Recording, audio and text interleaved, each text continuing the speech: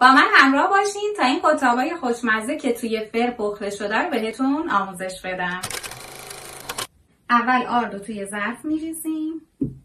بعد روغن و ماست رو بهش اضافه می‌کنیم. بعد موادمون رو با هم مخلوط می‌کنیم. اگر نیاز داشت کم کم بهش آب اضافه می‌کنیم تا یه خمیر نرم و لطیف به دست بیاد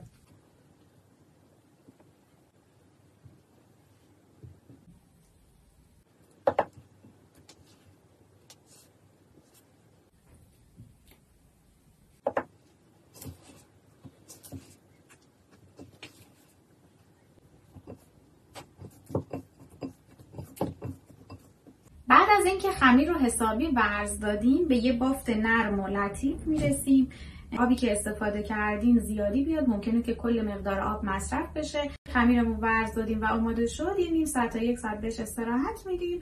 مواد میانی رو آماده می‌کنیم و بین خمیر میپیچیم. برای مواد میانی قطاب پودر قند دارچین پودر هل پودر نارگیل گردو توی ظرف می‌رسیم موادمون رو مخلوط می‌کنیم. شما می‌تونین مقدار پودرقند رو بیشتر کنین یا حالا مواد دیگر رو هر جوری که دوست دارین کم و زیاد کنین. برای اینکه موادمون یه حالت خمیر مانند بشه یه ذره یه ذره بهش گلاب اضافه می‌کنیم. شما می‌تونین به جای گلاب از آب استفاده کنین. فقط باید کم کم گلاب رو اضافه کنین تا مواد حالت خمیری به خودش بگیره. خمیر رو با بردن باز می‌کنیم. کاتر می‌زنیم.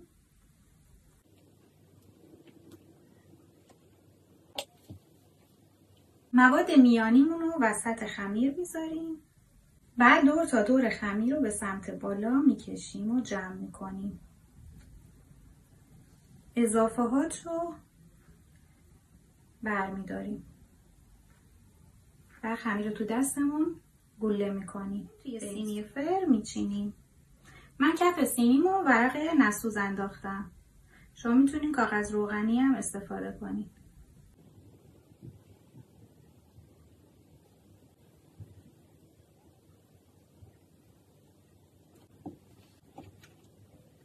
اگر می‌خواین که قطابتون یه شکل دیگه داشته باشه می‌تونین مواد رو روی نصف خمیر بریزین. بعد اون نصف خمیر رو برگردونین روی این قسمت رو هم تاش کنین رو فشار بدین تا حسابی به هم بچسبه. خمیر رو روی هم تا می‌کنیم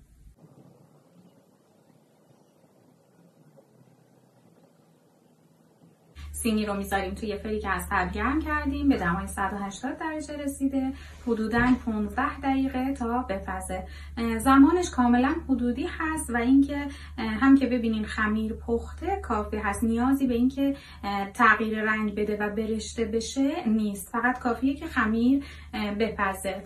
شما می‌تونین به جای فر قطاب رو توی روغن سرخ کنین. دست خودتونه وقتی که قطابمون پخت توی پودر قند میغلطونیمش و میذاریمش کنار.